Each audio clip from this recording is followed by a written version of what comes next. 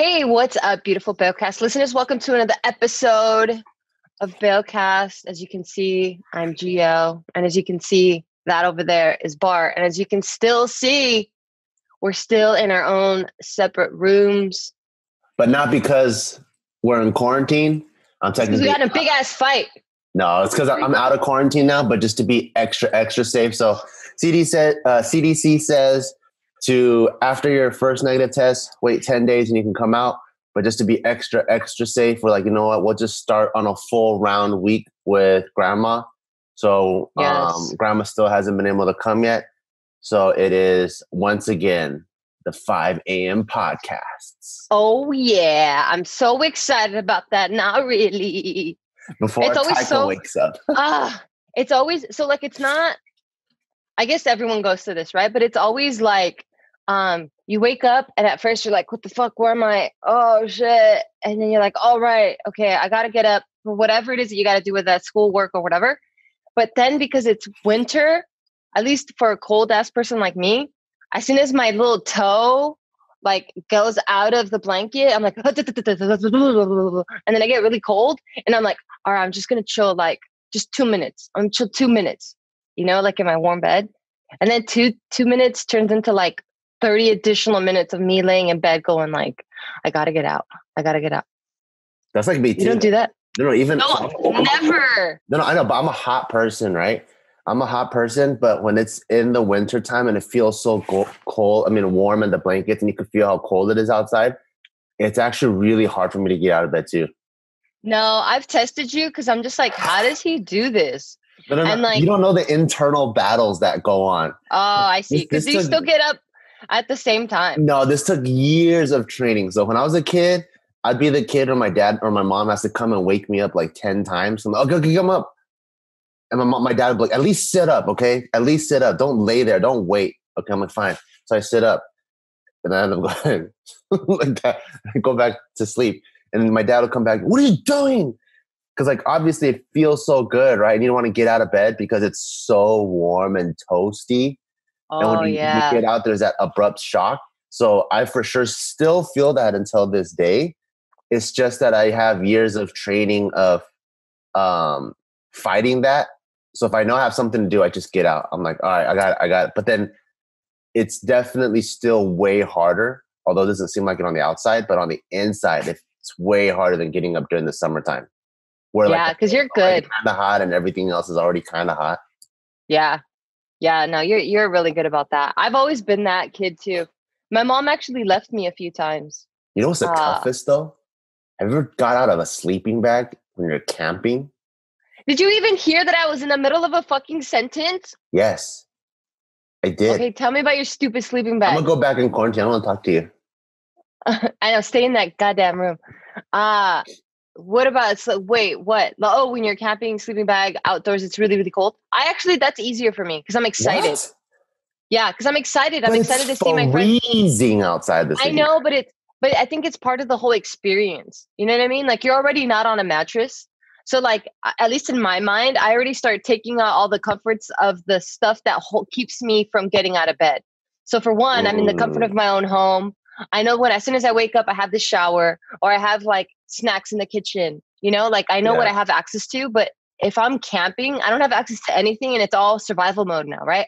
My version of survival mode, which obviously we glamp a lot of the time, but um it, i'm i'm faster i think the excitement of seeing everyone all fucked up and groggy in the morning and like their head all crooked like their hair is all fucking bedhead crooked like that is way more exciting than staying asleep like i'm a fomo type of person you know like i don't like to miss out on things so camping is easy like i'll probably be the first person out like i get excited Oh, dang. you act like you've never camped with me No, it just feels. I, I guess it's so surprising based off your personality.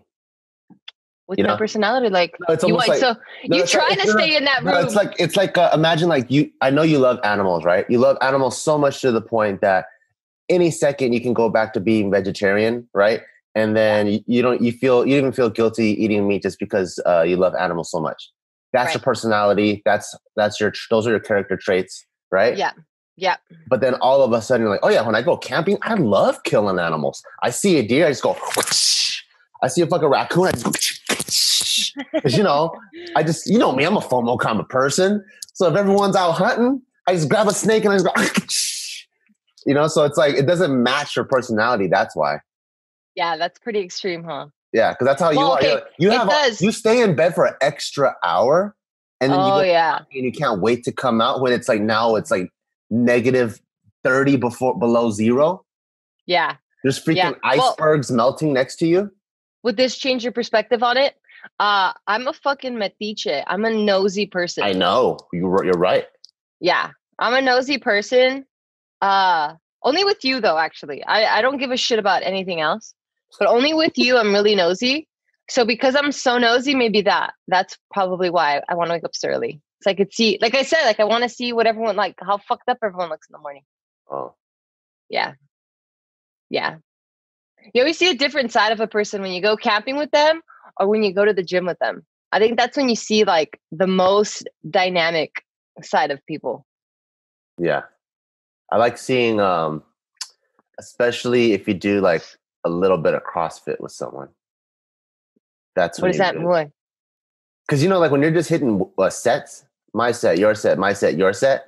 Oh, there's a lot of resting. It's it's tough, you know. It's tough, especially if you're trying to like.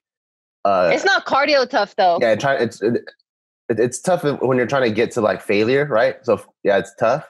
But then when you're doing like a circuit or like CrossFit, and you got like five, ten rounds of something, and it's 20 minutes of moving weights around, then you see who that person is.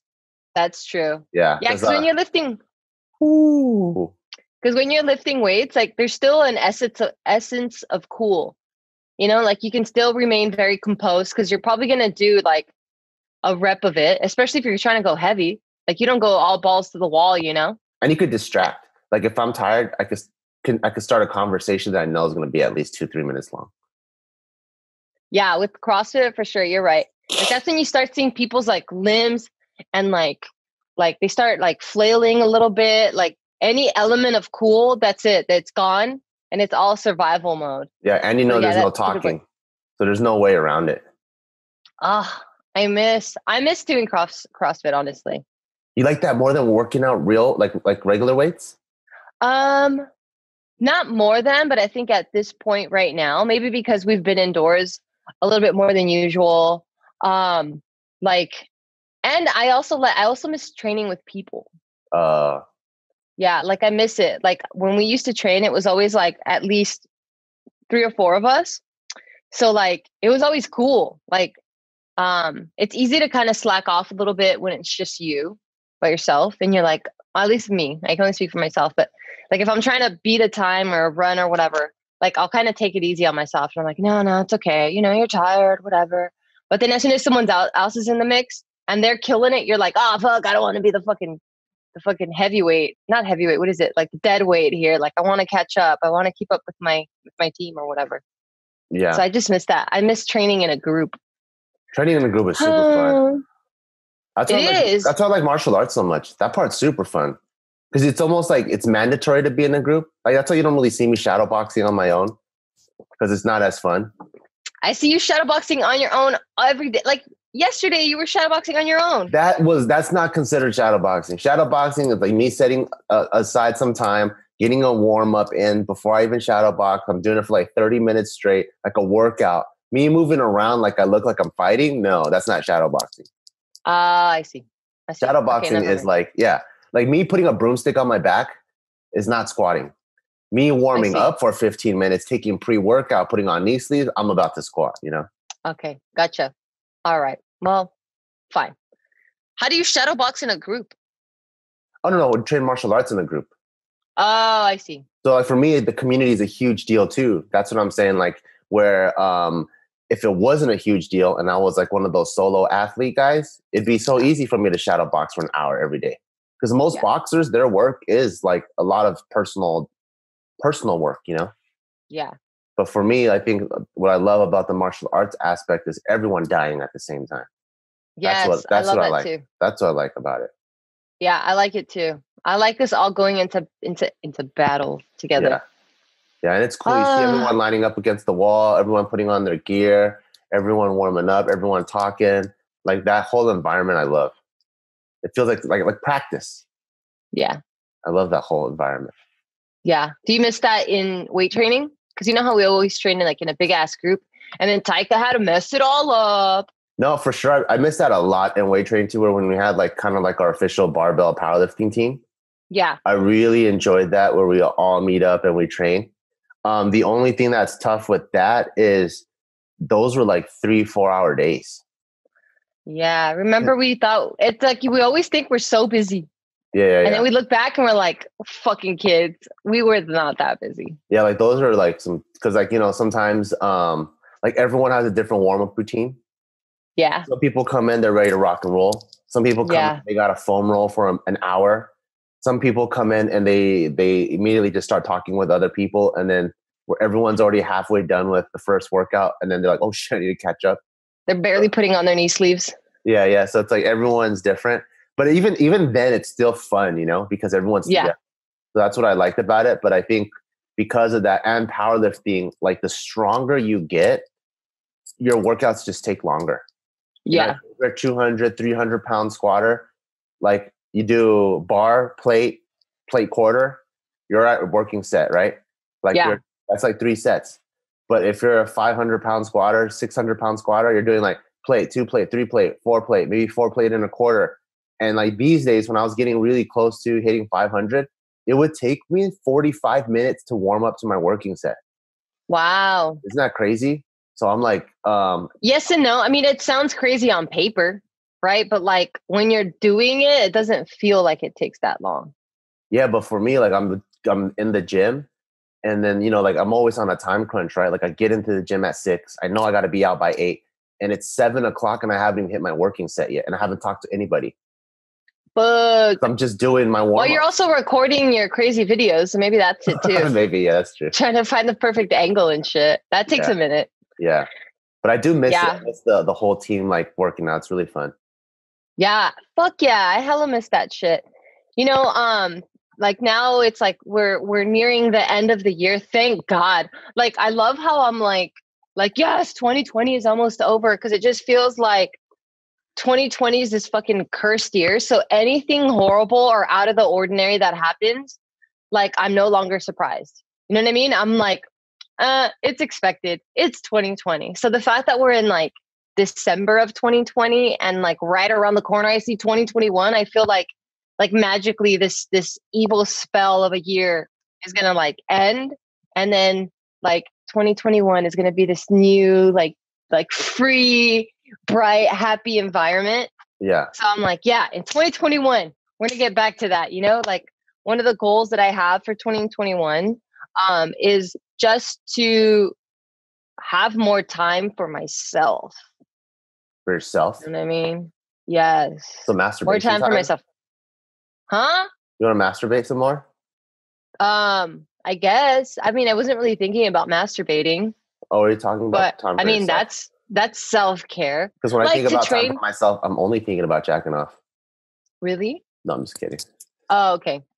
No, like just self care time, like train more, like get on that schedule, like um do more of my own like little creative projects. Like this year for sure has been more about uh, you know, building barbell more, cleaning that up. Um and yeah, just Taika. We've been on lockdown, so it hasn't been a lot of like like um solo me time right now, you know and i know that that's like this this privilege to have but i'm like yeah i want to strive for that you know because i feel like if you don't ever make a an emphasis on anything when it comes to yourself at least this is how i operate i catch myself tending to other people or other things before i tend to myself more that like i have to make it a point to be like no you're gonna do this for your fucking self so like you know that's that's what i want to do for from doing things for yourself. You just feel guilty. yeah yeah i feel like there's so many other things um that i prioritize where i'm like oh i'll get to my stuff later like it's okay because i think i know once i have time for my own thing then um obviously i won't feel guilty that i have these other things that are lingering or that are like unfinished you know Like I just I guess, feel like I guess I kind of I kind of understand what you're talking about a little bit, but a little bit I also don't. Because for me, um, I feel like there's necessities, right? Yeah. Like necessities, like uh, like gas in the car. Like if you don't put gas in the car and you don't get an oil change, that that car is not running. And so I view myself as a like a vehicle, right? Like a machine to get things done. So there are some necessities for me that I know I have to take care of myself for me Yeah. to be a useful machine for other people yeah, there's that part. But then the other part that I do relate to you that I always put off, like for example, um, I come home and it's trash day, and I already see that the trash people have already come, and then there's plastic trash cans that are just all empty and like all disheveled because you know like when the p- trash people come, they don't put it back neat. And I look at it and I, I go, can should I put those in, or can I run inside and I know how excited Taika will be to see me? And I he's go, not that excited. I'm like, um, I'll put those away later. So that's why I always just end up going in first. And then sometimes I end up leaving the trash out for like an extra five days because every time I come home, I, I hit the same dilemma. Yeah. Uh, well, I think because my necessities are obviously different than yours, right? Um, but real quick, let me introduce our first sponsor. All right. So we know that the holidays are right around the corner. I think it's like less than 16, 17 days at this point. Yep. Um, and um, we're all looking for ways to stay connected. Like right now, I think California went to uh, full lockdown again. So just seeing your relatives or seeing the people that you love just becomes a little bit more difficult, especially because case in point us, you know, like you uh, caught corona, you don't want to you don't want to spread it to your parents, but like you want to spend time with them. So um, Skylight Frames is a photo frame that you can update instantly by e- uh, email from anywhere. So it makes uh, the connection still still feel strong, still feel like you know you guys are still interacting. And this is something that I actually got from my mom. Uh, I think when we went on the first lockdown. Um, so it's this really cool frame. It looks it, it it looks just like a like a regular picture frame. Uh, I got her a white one, and uh, when I gave it to her, at first she was kind of like slightly afraid of it because she's not very um, technologically. Yeah, like she just she gets overwhelmed when like there's too many buttons and there's too many options. So as soon as I gave it to her, she's like, "Uh, what's this? What do I do? Are you gonna walk me through it?" And I'm like, "No, relax, mom. This thing's really really cool. All I had to do was plug in the frame, and then I created a, a personalized email for her because the email is where you send the pictures that you want to automatically upload into this frame. And that's what I absolutely love about it. That all you do is um, you take whatever picture you want to share with the person that you love, you email it to them, and then boom, within I want to say seconds, the the picture automatically pops up, and it's like on this rotation. So it's really cute because she'll just be like, "Hey, you just added a picture, didn't you?" And I'm like, "Yup." So like it keeps her looking for things to like like looking forward to to seeing it like oh did geo send me something today? So she always gets surprised or like i like getting that text from her saying like oh that's a good picture. And i'm like oh surprise. So she really likes it. It's really user friendly um, and it's just such a thoughtful gift you know because like nowadays who has any picture like printed pictures you know like i don't know we're not about that anymore Yeah. so definitely hit up Skylight Frames. It's such an awesome, heartwarming gift. And for everyone listening right now, you guys are going to get $10 off your purchase of a Skylight Frame when you go to skylightframe.com and enter code BAIL, B E A W. Yep, $10 off your first purchase of Skylight Frame. Just go to skylightframe.com and enter code BAIL. Let me spell it out S K Y L I G H T F R A M E dot com, promo code BAIL. And we are back. Um, what I was saying was, yes, your necessities are different than mine. So I think for you, you you have to train, right? Like you have to train because then it like puts you at a balance. But for me, I don't have to. I don't feel imbalanced when I don't. Ah, I see. And I, I guess I'm speaking specifically about training. Yeah, because I still get like I'm. I still do something, you know, whether that's playing with Taika or going on a walk or going on a bike ride or going to, on a hike. Like I'm still getting some form of of of physical resistance in. You know, it might not be as strenuous as it was once was when I was, you know, actively powerlifting or doing, you know, WODs or whatever. Um, but I'm still being active. But now, like, uh, I do want to get back into some sort of strength sport, though, for sure. Like, I miss, I miss my meathead day, my meathead days for sure. I miss them. You feel like you'll want to do it back at barbell or just anywhere? Well, I don't know if that's possible anymore, right? We're moving. So, okay, like, unless just, we open, because even like down the street, there's like a CrossFit gym, and then I've been. I know, but I'm talking about 2021. Oh, I see. Yeah. Gotcha. Yeah, yeah. I mean, we're in December. You so know, you probably join like a CrossFit gym in Las Vegas or something. It's so wild to me that I, that we're going to be Vegas residents, but yeah, somewhere out there for sure. Like, I do also want to get back into like, uh, like volleyball. Like, I want to do all of that stuff.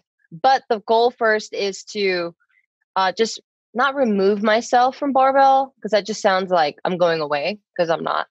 But like have it be more um self-sustained. You know? Like it's like it's it's pretty self I don't even know how to explain it. Do you know what I'm talking about? I know what you're talking about. I think for people that okay. don't understand business, um, it's more like trying to get it where it's um, you don't you're not involved in the day to day. Right. That way you can keep your mind in the management space. Right, right, right. Yeah. Exactly. Yeah, exactly that. Um, so just making sure that, you know, all the right teams and the right people um, can carry things out. And then I just like, I just have to occasionally check in with big picture ideas or whatever, or just to see where, where it is that we're going, you know, like set yeah. the goals for the year and then be like, you, you, you, you, you guys got it. You guys got it. They carry it away. Maybe in like every quarter, every three months, every quarter I check in, give you the status report. Oh, we're right on track. Let's fucking let's go. You know, to kind yeah. of live a little bit more more balanced life. Yeah, if people are like uh, McDonald's uh, connoisseurs like me. Then this example will work out. It'd be like uh, uh, if the manager is stuck at the register like every minute of the hour, cashing in the transactions, then there's no manager thinking about is this the best place to put apple pie? do the safe do the kids uh, playpen does it need more safety precautions um, right. like should we have the tables facing here? Because the sun comes in and blasts people in the eyes. Because there's no yeah. one thinking on the management level. But yeah like right now both, both you and i are highly involved in the day-to-day. And the goal is to be able to get every, the whole team up and running so that they can take care of all the transactions. And then that way we can really start looking at what's the best way to maximize on a management level. Yeah. It's so wild to me that I own a business. Like sometimes I'm just like, like I revert back to the little Geo that wanted, like that would have the aspiration to own a business. And then that immediately getting shut down because I thought to own a business, I have like this straggler hair that keeps, okay, there it is. Um, like this, the, the baby Geo was like, oh, I want a business. And then when I thought about having a business, I thought you had to have like a physical building. Yeah. You know? So I was like, oh man, I'll never be able to do that. And then now I I own several businesses and I'm like, oh shit, this is it's nuts. Do you ever get those? Um what's the thing that I think that would probably shock me as a kid the most? Well, but think about your lowest point. Like when you were getting kicked out of schools all the time. I think you uh I think you were I when you made that phone call to your mom uh, when you got kicked out for the last and final time and you were like mom don't worry. I'm not coming back until i can sh- i can prove to you. No? I think my whole life is a complete surprise to where i thought it was going to be. Oh explain. Yeah. like literally everything. I would never if you asked me like when i was like even 13, me 13 to 15 no no no for you for sure. I already know but like, oh, we'll talk about that later. like That's 13, cute. But like 13, 15, I was like, I don't think there's uh I don't think I would ever thought I was gonna own a gym. Although I love training. But like at owning, 13, you already like training? Or like 15 I did. But like, you know, when you think of gyms from that time, you're just you're thinking about like Bally's or LA Fitness, like, you know, like just juice bars and stuff. Like I would have never ever thought I would own a gym. That's like number one. I don't even think when I was 15 that I would ever even be doing anything in the public eye because I never was chasing fame or anything. Like you know, how, like Tim, he always talks about how ever since he was a kid, he knew he was going to be a star. Yeah. I never thought I was going to be in the public eye. I thought like famous people just were born in famous families or whatever. Or it's like that you're walking on the street and the agent is like, oh my God, I see it. Yeah. I see it Have you- already. Yeah. So I thought it was like that. And then I never thought that it would even be anything on um like comedy related. Really? Yeah, like I'm I like like growing I mean now that I'm older I'm like man, I'm like I'm a pretty funny guy and I really enjoy just having a good time and like messing around. And I'm like beyond anything all all of my traits, I'm for sure comedian first, athlete second. And that's like that's yes, we all know that you're not a fitness guru. Oh my god. No, that's that's like really who I am. But I would have never thought that. You know, like if I was 15 and someone's like, "You're gonna be Mr. Funny Guy," I don't. I'm like, what? Really? I don't. That so all of that is mind blowing. But what the things that I did know was going to happen was, um, I think for sure I knew I was going to marry a badass woman, and then um, How did you know that for sure? Because I wasn't not going to marry a bad, not badass woman. Oh, okay. Like, like Well, know- hey, I don't mind. the lifestyle that I want. Yeah. and the type of lifestyle that I want, I want to be able to shoot with my woman. I want to be able to do um, like fighting sports with my woman. I want to be able to camp. I want to be able to like backpack across Europe. Like I want to be. We've I, done none of those things together, by the way. I know, but I know I'm I'm still waiting for the day. So maybe I did make a mistake. but um, I, I I knew I always wanted someone that could like be like second in command in my family. And so if uh, if oh, the lady is too dainty or then she can't she can't run she can't be a part of this empire, you know, gotcha. can't be part of this kingdom. I should say, uh, even as small as it is, as small as it is. Like let's say I'm a warring, uh, like Native American tribe, like the Iroquois or something. I need like an Iroquois woman. You know, I can't be having no freaking Pueblo woman trying to make clay pots and shit. Yeah. Yeah. So All right. that in that part i that part i always knew and i i always knew that i was going to achieve um i always knew i was going to be more successful than my parents and i knew i was going to be more successful than what they wanted me to be too that part i always knew too Um, what did they want you to be and and and yeah, what did they want you to be that you were like, nah, dog, it's bigger than that. um i think my parents they since they wanted me to be like a doctor i think they wanted me to um Did you tell them that you didn't know that the vagina had more than one hole? Because that if they knew that from the beginning, they'd be like, "Oh, my son's not going to be a doctor." No, they know that I know all the holes of the vagina. How many holes does a vagina have? Depends on what day it is. okay, good, good answer. Yeah, Anyway, um, yeah. I think my parents, since they they wanted me to be like a doctor, have some sort of professional degree. I think like the the the goal of like that Asian mindset is always six figures, you know. And then for some reason, um, I just knew the life that I wanted had to be like a, at least a minimum six figure life. So for me, I just knew no matter what, like if I can't get six figures in 40 hours a week, it's going to be 60, it's going to be 80, but I'm going to achieve, um, I'm going to surpass the level of success that my parents think I'm capable of. I just knew that. Nice. I just knew that. Like my dream, I don't know if I ever told you, but my dream for um before like this whole comedy thing, my goal for getting double income was the whole reason why I joined um the Marine Corps first was obviously I didn't do very good in school. Life. Yeah, and life up until that time. And so I got kicked out of like three, four, five schools. I didn't wasn't able to graduate high school, so I needed some sort of graduation ceremony. So I knew I needed to join the Marine Corps for discipline. But even the Marine Corps was just kind of like a placeholder. Like my goal was join the Marine Corps, get discipline, also get the GI Bill to help with school. Get into college after I was done with my first four years. Uh, go to OCS, which is like Officer Candidate School, so that I can go to um, either they can pay for my medical school or I can go to the military medical school. And then after I do that, I'll be a doctor in the military for a few years. And then when you come out um, and you can have your own private practice, I was going to continue to serve in the reserves as a military doctor so that I can have double income. Like that was my goal.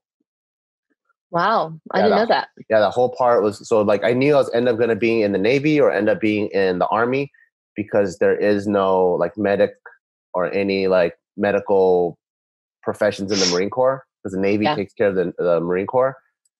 So I knew the Marine Corps was temporary, and I knew I was going to end up going becoming like an Army officer or a naval officer or something like that. And then that was like the whole plan. So I just knew that whatever my parents wanted me to do, I'm, I'm going to double that that was like my goal. Wow. Wow. You're so structured already. And we're yeah. talking about like in your 20s? This was my plan when I was like, yeah, like 18, 19. Oh, wow. Yeah. This was I had plan. no plan. Really? Yeah. I had no plan. I mean, so I, the reason why I say I have no plan is because there was already a plan written for me. Oh, you know, like a oh, lot of us were like, like you already know the order of things of like of like what life um like the safe the the secure life right so yeah. for me it was like like get married um, here have a house here exactly. Exactly. Like after high school you have to go to a uni right? Like you have yeah. to hit up a university. You're there for you know your 4 years. Once you're there for the 4 years you get your degree and now you enter the workforce.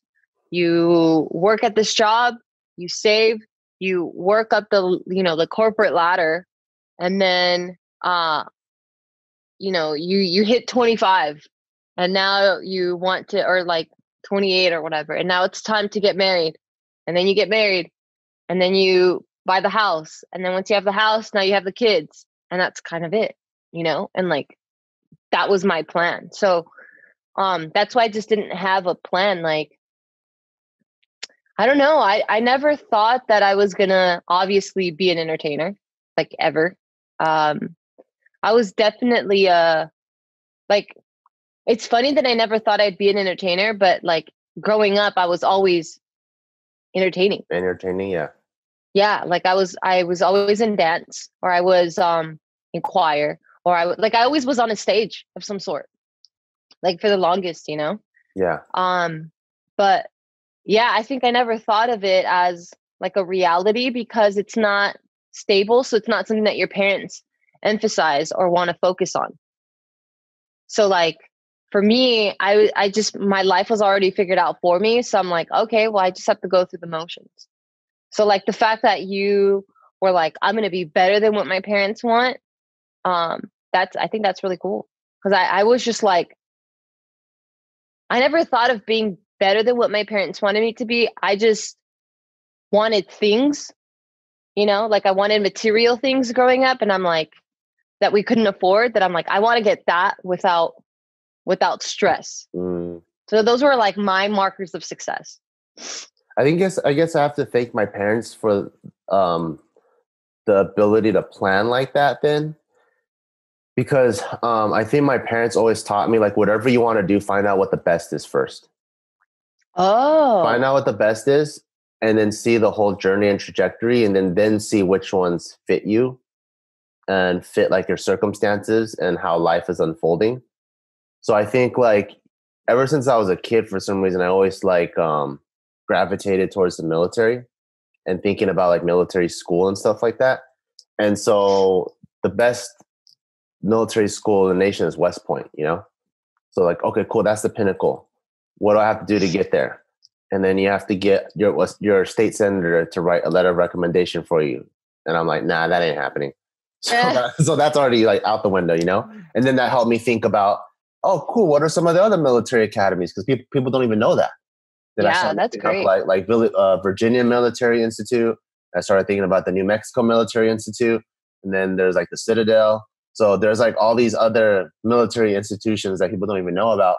But I think because of that, like uh, that thought process, it always was able to help me go, okay, so if this is what I want to do, what's the best way of doing it?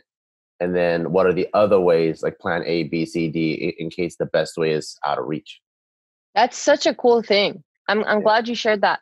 Um, but let me stop you real quick. I want to introduce our next sponsor. All right. So I get to talk about one of my favorites again, Best Fiends. I play this game all the time because the graphics are just the cutest. Um, it's a it's a phone game, and what I love about it is it's super happy. So basically, the storyline here is you have your bug buddies, right? Like you have a mosquito, you have a bee, you have a ladybug, like you have these like, and they look badass. Like they look like they're ready to wreck some shit. You know what I'm talking about? Yep. Um, and what they're doing, their duty is to protect this garden. And this garden is beautiful. Like it has like the most perfect flowers in it, but they're protecting it from these yucky, fat, disgusting, like like evil looking slugs that all they want to do is just eat your garden all day and you're just like what the hell man? So like you go on these journeys and these journeys consist of like like some some of them will be forest themes or then you'll go to like glacier themes or you go to mountain themes or jungle themes and it's like it's constantly changing. And i just love it because you know all i'm doing all day is is kind of problem solving when i'm like i don't know i just want to unplug and I don't want to think about stuff and I just want to relax and I just want me time. So Best Fiends always fills that void because it's just it's it's the me time, it's the happy graphics, it's you know my mind's still stimulated but not to the point where I can't sleep anymore because I'm like scratching my head so hard because I can't solve this problem. It's just so relaxing and so soothing. Babe, you see me play it all the time. I'm laying in bed and I'm like, no, let me unwind. And what am I doing? I'm usually playing Best Fiends. So uh, this is a game that's literally for the entire family. Like Taika loves watching me play it. He's still too little to play it by himself, but I mean, I started showing him like, no, you you connect the dots here and like, look, touch these. Which ones are the same? So he doesn't necessarily pass the levels, but it's like also cool to like teach him like, you know, look at these patterns. Check out this pattern formation, or look, you're gonna win this way. And he really enjoys it. This what color is that? Exactly. Or like, where's the flower? Or like, what type of flower is this? You know, so it's really really cool even someone like my mom who isn't the most tech savvy, like she likes playing it, you know? So if you want something fun to do uh, that's going to relax you, that you don't need Wi-Fi for, and you don't need to pay out of pocket for, definitely check out Best Fiends. You can download the game for free uh, on Apple App Store or Google Play. Again, that's uh, Friends without the R. So Best Fiends. Check it out. It's a lot of fun. And we're back. Um, yeah, we were talking about how you know you have the mindset of planning because your parents were saying like always look at the best. Yeah. I think that's really awesome like um and were they saying that specifically for like your career? Like like like planning your life or was it just in anything? Um i think it's mainly just your career but and life a little bit but from that you can apply it to life yeah. Well, I mean, it takes a, I think it takes a level of maturity to know that you're applying it to life. But I think when they were giving it to you, it was more for career. Yeah. Yeah. Was, I mean, it wasn't like, oh, you like cars. Make sure you look at Ferrari. And if you can't yeah. get that, then you get a Mercedes or something. It wasn't like that. Yeah. It was more like, more about what your goals are, what you want to do. And then those are the things that they would like talk to me about. Yeah. And then and then I think that's why even I joined the, the Marine Corps too, because at that time I didn't understand like all the other crazy jobs that you can get in all the military services. So like when you're just going to the recruiting office and you know jack shit about the military, you just go, oh, Marines are the best. So I'm like, okay, cool. If I can join the best right off the bat, why don't I do that? You know? And then later on, who told you Marines out, were the best? That was just like the word on the street. Like everyone knew that. Oh, I and see. I, and I think that's just a common thing that if you talk to normal people that know much that don't know much about the military, and don't know that there's like seals and all like green berets and all these other crazy ass mofos. Um, you just think in big broad strokes. You're like, oh, Marines are the best, they're the toughest. Yeah, I always thought I always thought Army was the more popular one because I just knew Army. You know, it's the popular like, one. It's the most. Yeah, so I, that's why I just thought it was the best. But know, they're not. The, everyone they're not joined the, the, Army. They're not the few and the proud. Oh, okay. Here we go. Here we go. go. Yeah. Here we go it's it's the, the the be the best you can be. You know, try to be the best, but you know. Yeah. But you know. No, I think that's great. Like, uh, I'm not one to ever look at my life and have regret. You know, like I'm not one to ever be like, oh man, like I wish my parents did this, or oh man, I wish I did that differently. Like, it's really hard for me to think that way because I'm such an optimistic person that so for example, going like how your parents already knew about the university system, they knew um like what the top schools were, they kind of prepped you, you know, they kind of like they prepped you to to know what the best is, they prepped you to look for the best. For me, I didn't have that. Like I had zero guidance. Like the only guidance I had uh, and not to say this in a bad way at all, but like the only guidance I had was you better do good in school, you better get good grades, you better go to university, and then you get a job. Like that was my guidance, you know? And like luckily I had my older sister um who didn't necessarily guide me because there was such an age gap. Like she's 15 years older than me. So just based on her actions I learned. Cuz she like when I was growing up and you know like i when i started going to junior high when i was a little bit more coherent in terms of like oh shit like i'm slowly becoming an adult. Um, she was already at a university already getting her master's. So i just saw that as like oh okay that's the norm. You know she didn't necessarily sit down or like my parents didn't sit down and talk me through like these are the things you want to prep for. This is what you want to look for. These are the things you're trying to strive for you know? Yeah. So like I could sit here and easily be like, oh man, like if I just had that guidance, like maybe I would have been in a different spot, or I would have been better, or I would be, I, I'd be making more money, or whatever. You know, the guidance is so important. My um, my uncle, you know, my uncle that's a dentist. Yeah. So like in Taiwan or in a lot of Asian countries, it's fucking difficult to become, uh, to get a professional degree like that. Because unlike this American school system, like the the funny word on the street or euphemism that most Asians call America is they call America the land of fifth chances. Why fifth? Because you can fuck up over and over and over and over and over and over and over and even go in jail and come out and then be successful. So that's so like that's the euphemism and they almost like they almost laugh at America because in America you can fuck up so hard and you can become successful still, right? But in, I love it. But in Taiwan, it's like this: if you don't get like a 4.0 and you don't ace your like first to like fourth grade exam, then you're already not going to go to the best elementary school. If you don't go to the best elementary school, chances are you're not going to ace your fifth through sixth grade exam. You're not going to go to the best middle school.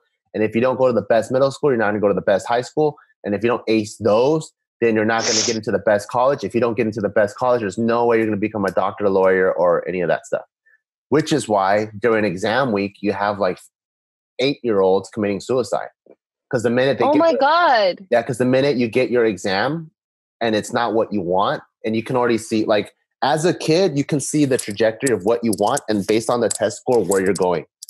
So that's how much pressure like these um, Asian countries have and so for my uncle, one of the reasons why he was saying that, like, man, he wished he had a little bit more guidance. Cause he every since he's like the first generation doctor, like um every single piece he had to earn on his own.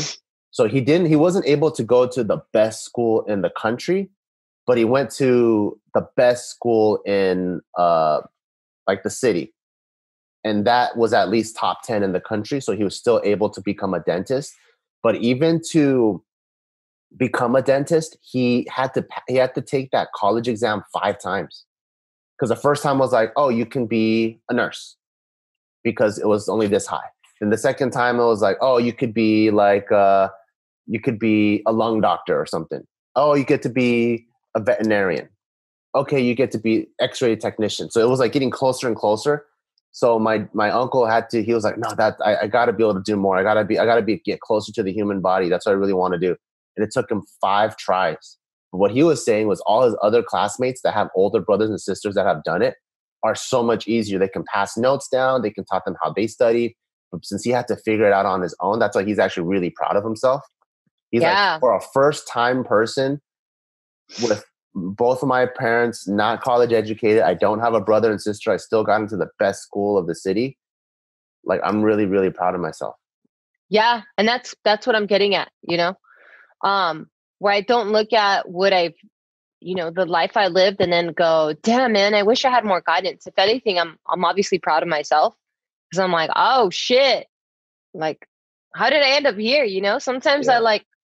There was this vlog that recently went up on our channel where, uh, and I, uh, because because people were tagging me in it, like they were taking screen grabs and then tagging me, and I thought it was really really beautiful. But like I was vlogging out in our backyard, and um, and I was like, wow, I can't believe this is my house. You know, like I don't have this like lavish fucking like MTV Cribs style of like huge ass mansion, you know, but like it's not like we have we have more than what we need, you know? And the fact that like I have two extra rooms that are empty to to serve as to serve like whenever we have guests over, like that for me is mind blowing. You know, the fact that I have a pantry full of all these snacks and shit where I'm like, man, if it goes to if it if it gets expired, blah, but I have it there for like Taika or for you or for me or for like when people come over. Like for me, like growing up, that was a waste, you know, to have that just sit there. But I was walking out in the backyard and I'm like, holy shit, like I'm really fucking proud of myself. Like I I can't believe that I'm like here today. You know? So it was like it's like it's like really, really cool. So I really relate to your uncle in terms of like how he's like really proud of himself.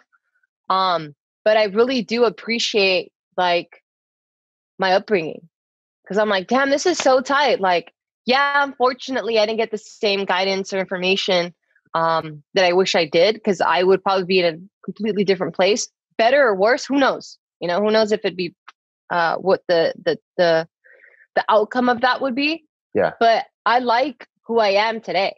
You know, and I, and, I, and I'm just like, ooh, I'm so excited to like pass down whatever I've learned to Taika. And I can't wait for him to be like, shut up, mom. Ugh, guys, my mom's so fucking annoying. I bet that's what my parents feel about me. They probably taught me all these lessons and they probably watched this podcast. Oh, so now this motherfucker is finally saying if you want to find a journey, find out what the pinnacle is and then plan your journey. I've been trying to tell them that for years. Yeah, they're watching it right now with subtitles. Yeah. I mean, that's even They watch like, all your stuff. They do. I mean, that's probably even how they chose to come here, you know? Like they started that, that they started that whole movement. Like my dad in communist China didn't like it. Probably was looking at some kind of map. What's the best country in the world, you know, at that time? And he was like, I'm going there. You Yeah. know, like if I have to leave my home country, I might as well choose the best one Yeah, because there's people that went to Vietnam, there's people that went to like Mongolia, there's people that stopped in Hong Kong or Taiwan, people that went to Canada. And I think at the time he was like, nope, if I'm gonna leave, I might as well go to the best place. damn, that's fucking ballsy, man. Yeah. yeah our parents are are super badass for that for sure um because i look and we've talked about this before but like i look at just us kind of uprooting ourselves and then like leaving california just to our neighboring state in nevada. And i'm like wow that's so big you know? But then we think of like our parents specifically your parents because my parents just kind of like went over a border legally uh but yours were like you, your parents just fucking it was a completely culture shock completely like like you said escaping communist china i'm like holy fuck that's ballsy man Yeah, because we think about moving to Texas, we're like, nah, too far. i know too far ah But for them, they're like another country. If they need a babysitter, what do they do? You know, it's pretty crazy if you think about it. it is it And a is lot of minority parents have done that, yes which is crazy. have. Yeah. they have They're badass, man. They they need a they there need there needs to be like a minority parents holiday. You know, yeah Like what would you call it um, I don't know. Get out of my country day. Wait who's saying it though i thought it was a celebration why is It it is a get out of my It country is a celebration, but it's still got to be like the Americans that write it in. So they're probably fine. You want this holiday? Well, I'm gonna call it "Get out of my country day." that's dumb Because you know, like my dad knows how to cuss in every single language, just because he worked at the casino and it's a very international place, and he's been cussed at by every single race. this it sounds like your dad doesn't know how to do his job right No, I mean, you know, you know the casinos. It's not like it's not the cream of the crop there. You know, I see. So if people lose money or you know, like even when you, people like when you play blackjack, and you can tell people when people are playing with their life savings and it's a game of chance and they're blaming the dealer. That's true.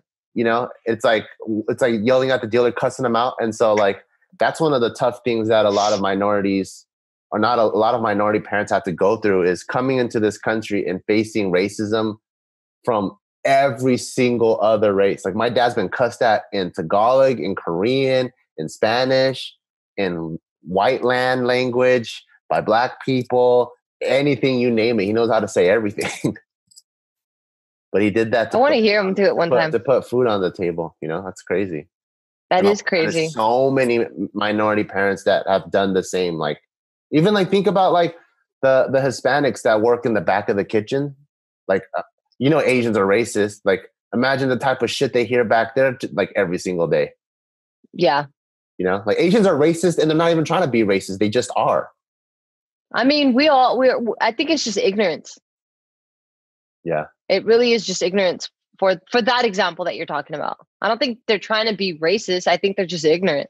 Yeah. Like, hey, amigo, come here, and it's like, motherfucker, just call me by my first name. You know, like it's fucking Pablo. Just call me fucking Pablo. Don't call me amigo.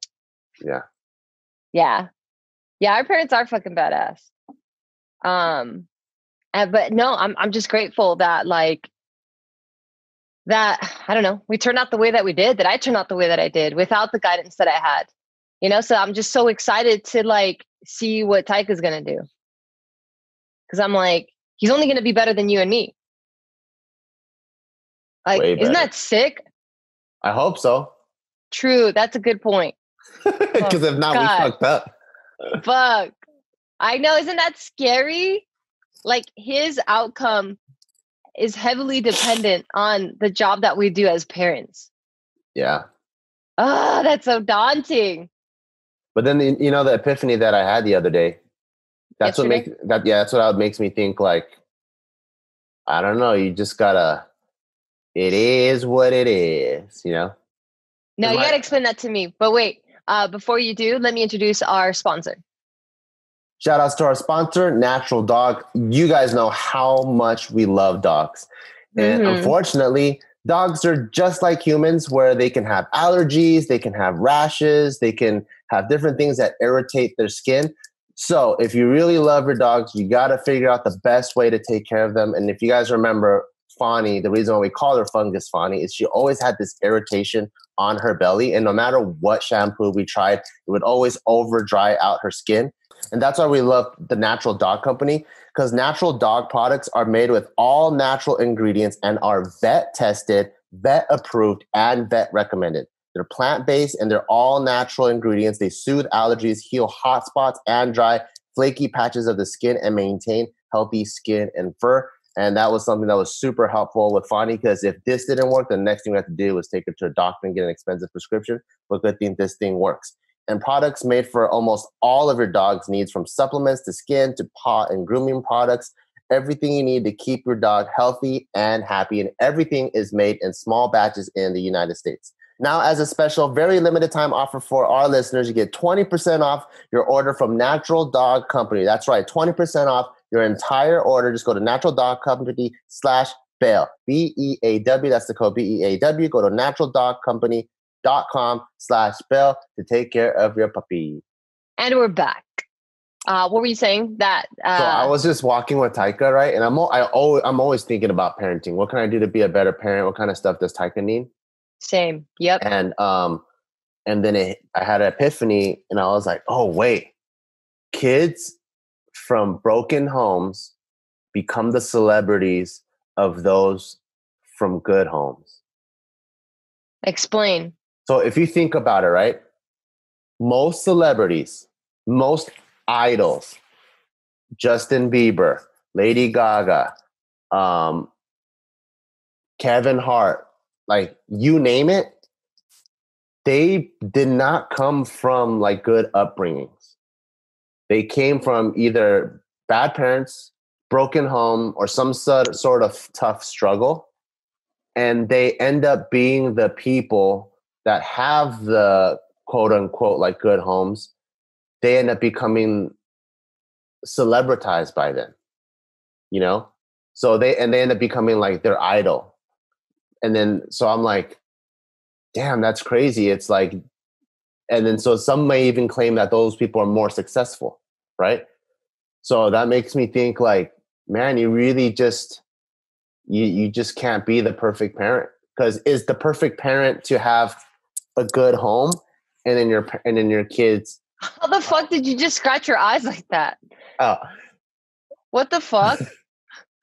what the fuck? Do that again? i don't know what i did Yeah, what the fuck? I've never had that part of my eye be itchy. i think it's my bangs i have to cut it get a haircut All right, anyway, I've never scratched my Uh. eyes like that in my life. but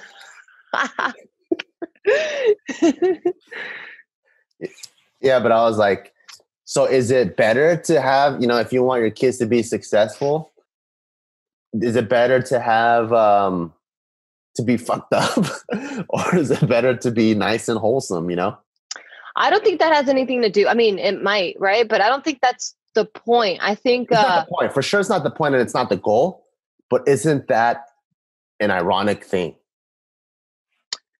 well, I don't know how many celebrities you know, like I don't know how many backstories of the celebrities that you know um that came from parents or like successful people that came from parents that nurtured whatever. I mean, I guess all of these had some sort of nurturing, right?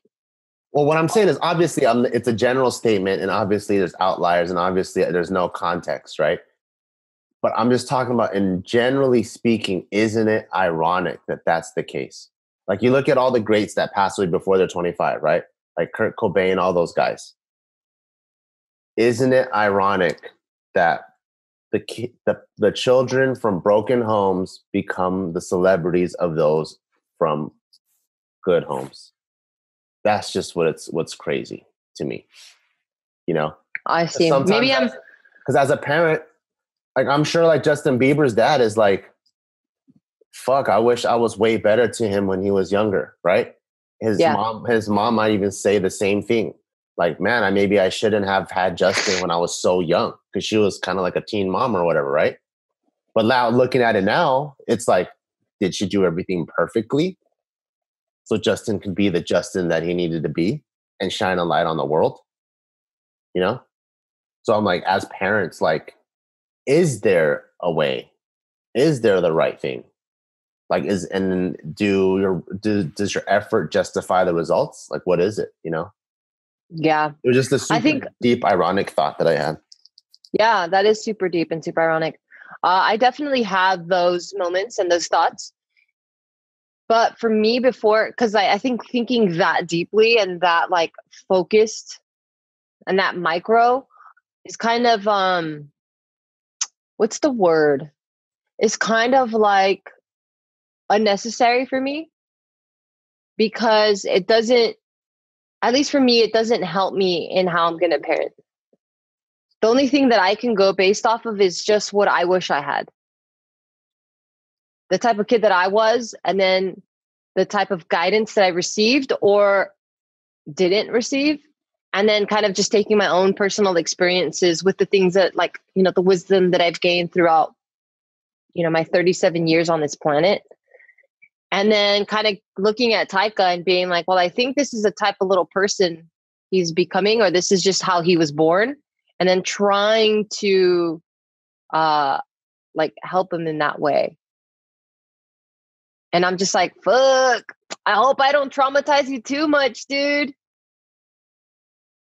it is what it is. Exactly. It is what it is. You just don't yeah know where'd you get that from? Where'd you get that from? Because you, you keep quoting it. from my favorite spirit animal max holloway. Yeah he's a baddie. Who's max Yeah. holloway? Uh, he's a UFC fighter, former featherweight champion, and I just love, I really love his approach on life. Because uh, one of the things that really struck with me is uh, after he lost um, a fight and he lost his title, and he was in the club after party, and everyone's like, "Oh my god, I'm so sorry, Max. You you fought so hard. Oh my god."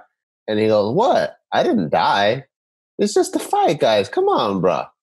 And I'm like, "Oh man, this guy's just so cool." He goes, He's like, I still got my family. I still got my son. I'm gonna go surfing tomorrow. He's like, come on. his dude." face is all fucked up Yeah, he's like, I was just a fight. He's oh, like, it is what it is. He goes, why people think I died or something? And I just love that about him. You know, you just all you could do is just put one foot in front of the other, have a smile, and that's literally like the key to life. That just goes to show you how talented he is, though. Do you know what I mean? Really, why? Yeah, because like if you have to really fight to to earn that title and like you have to practice really fucking hard and like you're proving it to yourself and maybe other people uh that you're champion status like there's a different mindset you know you don't expect to hear such lax vocabulary come out of someone that's been a champion Yeah, there's that champion mindset, you know, Yeah. but he's just so chill about it and so Hawaiian that like it's ironic. Because usually like champions are like fucking you eat, sleep, drink, whatever it is that you're in. Like that's your that's your world and that's it. Yeah. And you you have like blinders on and you're just Yeah. so fucking focused. That that's why I think it's it's so heartbreaking when you don't achieve you know the that trophy or that title or whatever or Yeah, the belt. you dedicate every second of your life. to exactly. you're just committed Yeah, you know? So the fact that he was just like hey it is what it is. It's like what? Who who are you dude? You're you must be really fucking talented. Yeah. but damn can't wait to fuck Taika up I hope not, but I also feel Oh. like we we are no matter what. oh No- yeah no matter sure. what, you know. every time i tell him no and i see his little heartbreak i'm like oh that's probably a scar i just created you know or if like you know i have some shit i gotta do and i can't really focus 100% on what he's trying to tell me I'm, and, and i'm like Taika, not right now wait give mommy five minutes you know I, i'm like oh fuck i probably scarred him there I like when he gets. I like when he gets mad. Goes, oh i hate it Hmm, hmm, hmm. i hate that i wasn't raised like that and doing that shit was like some tv family shit Hmm. yeah Yeah, He's so cute him. though. his wet ass lips yeah. I wonder when those are gonna go away. You know, juicy ass little fucking nasty boy. Yeah. He feels a lot though, which is pretty cute. I don't think I felt that much as a kid. Because he Yeah. always goes, I'm sad. I'm like, oh, you're sad? I'm like, do you want to be sad? I want to be sad. I'm like, it's okay. You could be sad then. You know, I'm okay. I'm sad. He just wants to feel it. Yeah. Or when I'm mad at him, he doesn't care if like I scolded him. He doesn't care that he's on timeout. He doesn't care if I take away the toy or whatever. Like he doesn't care about the discipline that I'm giving him. He cares more about my perception of him. Yeah. Which I'm just like, why? That's cute. Like, how do you understand this? Because he's like, Mommy, are you mad at me? Mommy, don't be mad at me. Are you mad? Please don't be mad. And I'm like, oh. I'm gonna pretend because I have to put my foot down, but oh, inside I just want to hug you so bad. And then I end up hugging him, and then I explain to him what happened. But yeah, he feels a lot. I don't know if I don't know if all kids are born this way, you know, and like maybe depending on like the amount of kids you already have prior to this child, you might not be able to tend to it and, and see it. But I wonder if all kids are like this. Yeah. Cute ass kids. But anyway, this was a this was a fun a fun little conversation. Is there anything you want to uh you wanna you wanna close it out with? Nope. Nice. I love it. The wisdom just keeps fucking spewing out of you. Yep. But It is no, what it I. I exactly. That's I'm glad that that those are some wise words, man. yeah. Like I think just always looking forward and then just kind of like peeking over your shoulder to be like, oh shit, I used to be there. I'm not there anymore. Taking your lessons, throwing away what didn't work, keeping what did work, and just keep fucking going forward because it is what it is, you know, and just making the best out of your current situation, I think is um is all any of us can do. yeah. Yeah. So uh no matter where it is that you are in life right now, just all of that can change, good or bad. So I think you just kind of have to take in the moment and again, just keep what works, throw away what doesn't, and just fucking keep chipping away at it. True. Now I'm saying, Yep. all right. Well, thank you so much, everybody, for listening. I also do want to say thank you to our sponsors. So, thank you to our sponsor, Skylight Frame. Now, as a special offer, you can get $10 off your purchase of a Skylight Frame when you go to skylightframe.com and enter code BEAW, B E A W. That's right. You're going to get $10 off your purchase of a skylight frame, just go to skylightframe.com and enter code BEAW. That's S K Y L I G H T F R A M E dot com. Promo code BEAW, B E A W. And thank you to Best Fiends. Make sure to go and download Best Fiends free today at the Apple App Store or Google Play. That's friends without the R. Best Fiends. Also, thank you to Natural Dog. Now, as a special, very limited time offer for all of you guys listening right now, you guys are going to get 20% off your order from Natural Dog Company. That's right, 20% off your entire order. Just go to naturaldogcompany.com slash Beaw, again, B-E-A-W, to make sure you get your 20% off. Naturaldogcompany.com slash Beaw, naturaldogcompany.com slash bill. All right, guys, last but not least, don't forget to go to barbellbrigade.com. In one week, we drop two more protein flavors on 1216. We have the chocolate peanut butter banana, extremely delicious. Also, just a standard milk chocolate. For those of you guys that want to make smoothies at home, you just need that base. And we still have our horchata protein, which is super bomb. All three proteins have less than one gram of fat, less than one gram of carb. So make sure you go check that out, barbellbrigade.com and get your swole on. Make a baby. All right. Thank you guys so much for uh, for listening and watching. See you guys next time. Bye.